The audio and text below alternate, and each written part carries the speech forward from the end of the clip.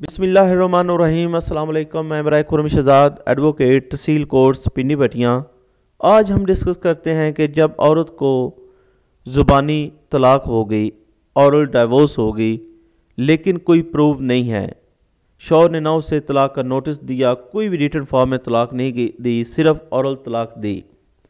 अब औरत इद्दत पूरी करने के बाद आगे शादी भी करना चाहती है, लेकिन उसे डर है कि उसके पास तो रिटर्न फॉर्म में कोई सबूत नहीं है कि मेरे शोहर ने मुझे तलाक दिया है। तो अब वो क्या करे? लेकिन इसके लिए वो क्या करेगी? तकजीब निकाह का दावा अदालत में दायर कर देगी और साथ गुहान को पेश करेगी।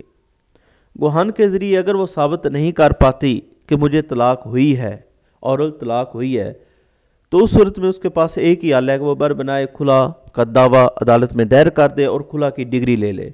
और उस डिग्री को यूनियन काउंसिल में देकर मोस्टर सर्टिफिकेट हासिल कर ले और मोस्टर सर्टिफिकेट हासिल करने के बाद फिर वो आगे निकाह कर सकती है।